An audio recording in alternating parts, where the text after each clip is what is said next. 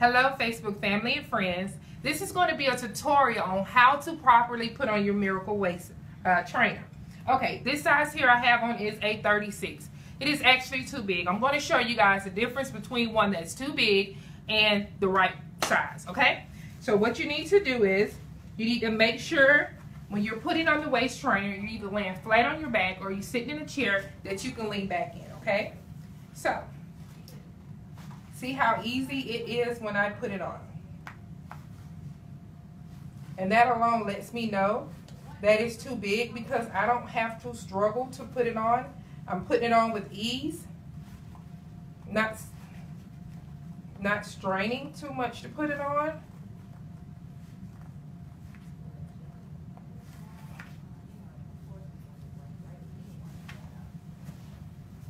Okay, make sure you pull it down. It needs to go up under here and it needs to go to the bottom. And actually in the back it'll go down.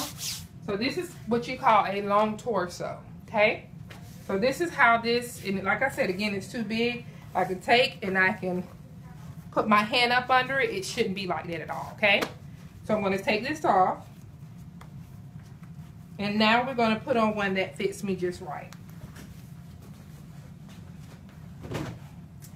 this is a size 34 waist trainer and that's the size that I wear I love this. This is my favorite trainer.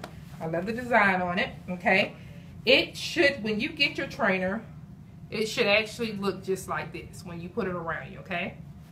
If you're able to connect it together at first, then it's entirely too big, okay? And again, like I said, it should be a struggle when you're putting this on. So I'm going to continue to lay back like I did with the first one.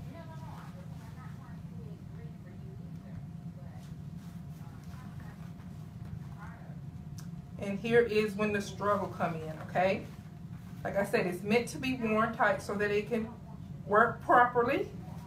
The very first time I put on my trainer, I actually had to get my husband to help me put it on because I couldn't do it on my own. Again, it needs to be a struggle when you put it on.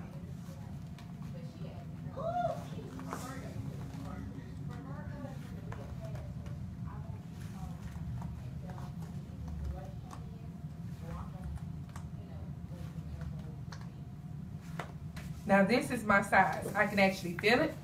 It's gonna do what it needs to do as far as sweat. And if you can see the difference, it's actually holding me in a lot tighter than what the other one was doing. There is no wrinkles or anything puffed out in my back. It's completely flat. I like how it actually put the arch in my back. So it's giving me the curves that I want and I desire. And this is the Miracle Waist size 34. I went from a size 38 and now I'm in a 34 in just two months. Thank you.